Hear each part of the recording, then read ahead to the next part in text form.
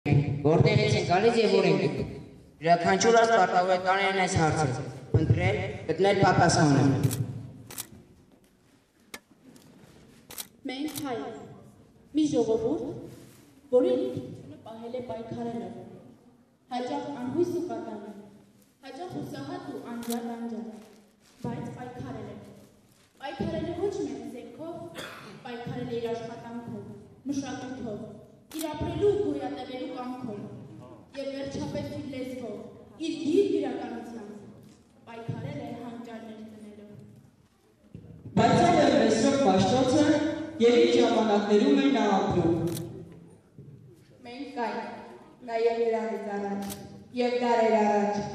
Մենք կրնությունից խուստ էինք տալիս, բեղուն դաշտերի կերադասելով լերները քարով, իսկ մեզ ոտնակով հետապնդողին դիտապատանում, կոչելով մեզ հայ։ Քիչ-քիչ ժողովրդի կեսը պարսիկ էր դառնում, մյուս կեսը հույր, իսկ հայ մարդիկները ստանալով ունական կամասորական դիպություն, ծաղկեցնում էին նկար դիպություններ։ Ինչ անել։ Ինչպես պետք է ժողովրդին կործանում մի։ Զենքով։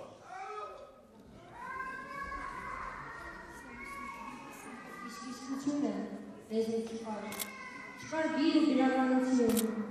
գրականություն։ Հայմայն իր որդուն հունարեն էր օրորացնում։ Իրավոտն առաստված հունարեն էր արկաբերում։ Սա է ինքնությունը, համատարած խավար, լույսի ոչ մի նշում։ Եվ այս ամենից, այսքանից հետո իրավունք չկար ինչևից լալու։ Իրավունք չկար արյան փոխարեն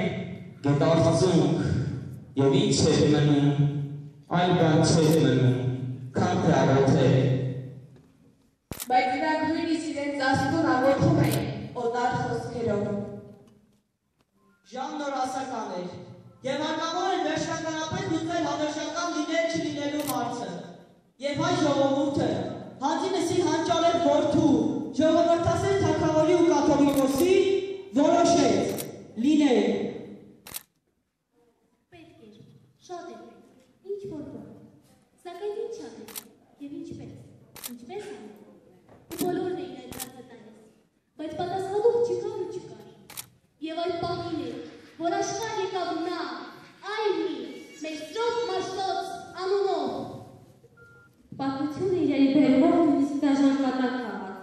հանգամանորեն պատմելով մաշտոցի մահվան մասին։ Նա համեմատաբար քիչ բան է ասում մաշտոցի ծննդի եւ կյանքի մասին։ Եվ այդ այն ժամանակ, երբ նա մահ չի ունեցել, այլ միայն ծնվել է,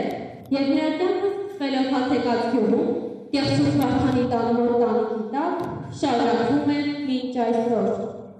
Եթե այդ տարերի գյուտը եղած լիներ մի հզոր ու մեծ երկրում, թերևս մաշտոցը նույնպես մեծարվեր իր ժողովրդի կողմից, սոսով որպես ազգային մշակույթի մի մեծ երախտավոր,